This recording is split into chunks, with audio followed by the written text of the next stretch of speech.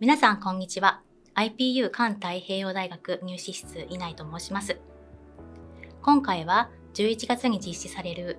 総合型選抜入試それから学校推薦型選抜入試についてのアドバイスをしていきたいと思います。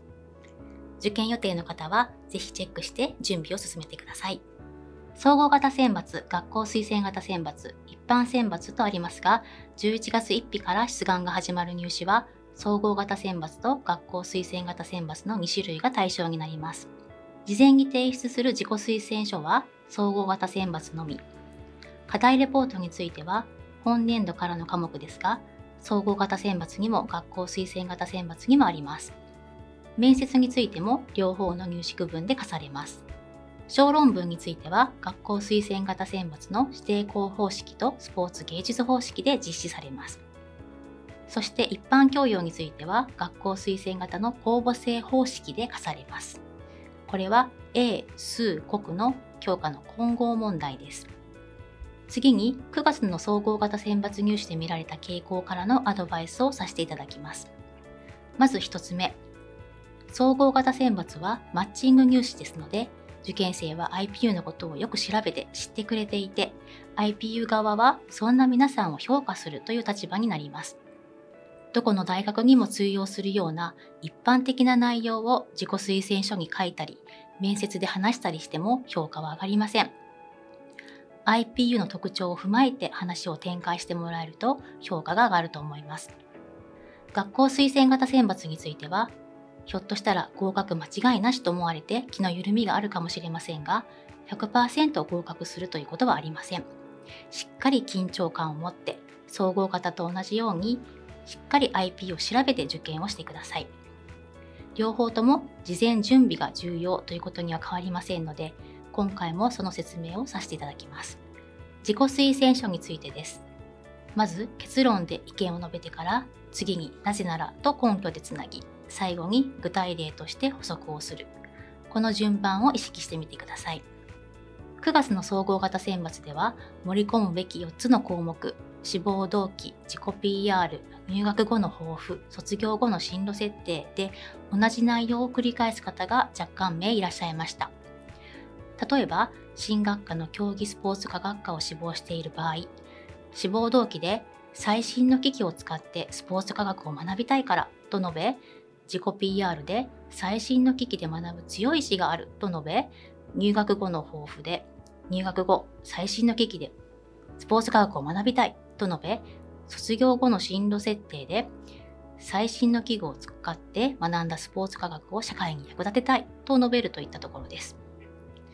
これだけ同じことを繰り返すと、それぐらい強く自分の意思をアピールしているということはあったかもしれませんが、評価としてはあまり良くありません。それが不合格につながるわけではありませんが、本学の見学の精神や志望学科のアドミッションポリシーを踏まえ、と自己推薦書のお題にあるように、それぞれの項目についてアドミッションポリシーや教育の理念など引用しながら表現できるということが望ましいです。1200字以内という長い文章の中に4つの項目を散りばめるより4つの項目を段落分けをしてそれぞれ記述をするようにしてくれた方が読み手としては理解しやすいように思えますのでそのあたりも気をつけて書く練習をしてみてください。続いて課題レポートです。当日30分の試験時間内で書いてもらうものになり、これは一般選抜入試の独自方式も対象になります。画面左にあるように、ホームページの入試情報のページに行くと、課題レポートについての記事がありますので参考にしてみてください。4つのテーマについてそれぞれ100字程度で記入をします。短い字数指定なので簡潔にまとめることが重要になります。テーマの候補もいくつか載っていますので、それぞれについて書けるようになっておくと、当日書きやすいと思います。いくつか紹介しますと、自己 PR については、何をしたかではなく、こんな経験をしてこんなことができるようになった、こんな学びがあり、今後は自分はこんな風に社会に貢献できる、などといったことを説明してくれるといいと思います。志望学科での4年間の学習計画については、自分は将来こうなりたいというよりは、学科のカリキュラムに触れてもらいながら、どこの大学でも使えるようなフレーズではなく、IPU の特徴を踏まえて書いてくれると良いと思います。卒業後の進路選択、職業観はこうなりたいに加え、なぜそう思ったのか、どのようにしたいのかを卒業後すぐだけではなく、10年後、20年後の長期スパンでまとめてもらえるのもいいと思います。それから、若干名の課題レポートにネット検索で出た言葉をそのまま使っている箇所がありました。ネット検索で調べたことを使うということ自体は必ずしも悪いことではありませんが、そこに自分らしさを加えていくことが重要です。そうでないと単に全く真似をしているだけということになりますので、そういうことは控えるようにしてください。次は面接ですが、左の項目は共通してのポイントになりますので、右の方だけ確認していきたいと思います。面接で答えるときは基本的に結論で意見を述べ、根拠で理由を述べ、補足で具体例、最後にもう一度結論で印象づけましょう。面接担当者からのさらなる質問に備えて、自分が発した言葉の意味を答えられるようにしておく。さらに詳しく答えられるようにしておく。なぜに答えられるようにしておく。それを心がけましょう。学校推薦型選抜の指定校方式とスポーツ芸術方式では小論文が課されます。苦手であるとか指定字数まで届かないという受験生もいるようですので少しアドバイスをしたいと思います。例題として海外からやってきた友人をどこに連れて行きたいですか？とします。これは小論文で出るようなテーマではありませんが、説明のために使います。上の方が三角、下が丸になっていますが、違いがわかるでしょうか？両方とも結論としては岡山に連れて行きたいというところで共通していますが、三角の方は一番下に ABCD とあります。具体的な言葉が特にありません。それに対して丸の方は一番下にもたくさんの単語が並んでいます。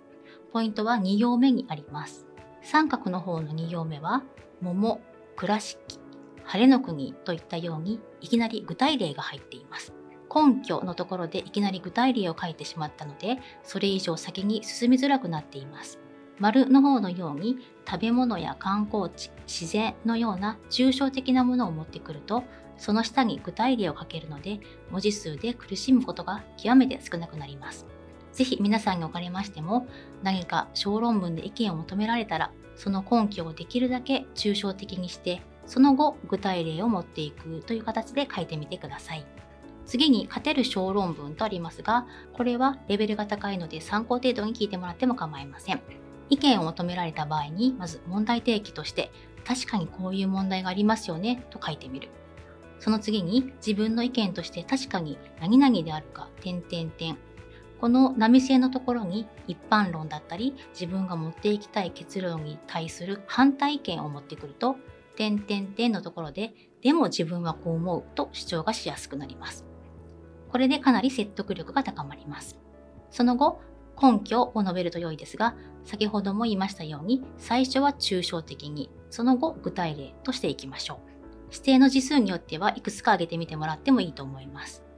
最後にまとめますが、ここもできるだけ初めの意見と同じ表現ではなく、少し抽象度を上げてみるといいと思います。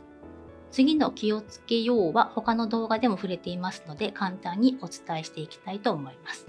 まず誤字脱字は減点です。見返す習慣をつけてください。デスマスとであるという違った文体は混ぜないようにしましょう。なのでなど話し言葉は使わないようにしましょう。一文が長くなると読み手は読みづらくなります。一つの文を40文字から60文字程度にまとめるようにしてください。主語と述語がねじれている文章も見かけます。文章を短くする、あるいは主語と動詞を近づけることでねじれはなくなりますから気をつけてみてください。前回の入試の課題レポートで少し目立ったのが、そしての多用でした。そしてなどの接続詞はなくても十分に意味が通じることも多いですから、多用はしないように気をつけてください。学校推薦型選抜公募制方式、一般選抜入試独自方式では、成績優秀者に奨学金を給付する制度があります。公募制方式では、一般教養に A 国数の科目の混合問題が出され、一般選抜独自方式では、国語と総合問題、英語、数学のどちらか1科目の学力試験があります。受験をされようと思われる方は、ぜひまずは過去問にチャレンジをしてもらい、傾向を知ってもらえたらいいと思います。説明会などに参加してもらえると過去問題集を渡してきますし、試験対策も行います。一般選抜入試の過去問題集については、本学のホームページから請求することもできます。対策も一緒にしたいと思われる方は、左の方に案内が出ていますが、岡山で2回にわたって英数国の入試対策をいたします。11月の入試を受験される方は11月3日、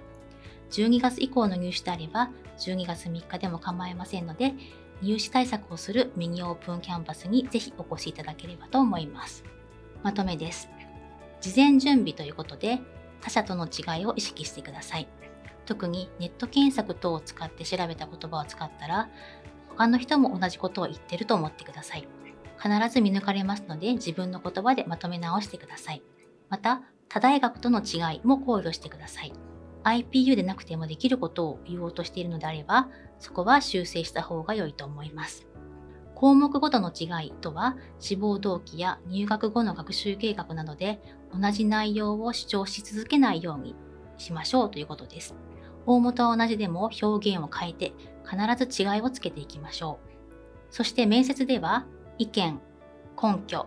補足、最後にもう一回自分の意見を言うと印象に残ります。小論文でも同じ展開になりますが、根拠のところをできるだけ抽象的にして、その後具体例ということを字数に合わせながら何個か挙げてみて、最後にもう一度まとめましょう。自己推薦書も課題レポートの下書きも面接も学校の先生や保護者の方や友達にチェックをしてもらったり練習相手になってもらったりして完成度を上げていってください。IPU 本年度2回目の入試は11月1日から出願が始まります。受験予定の方はぜひこの動画の内容を確認して頑張ってください。ご視聴ありがとうございました。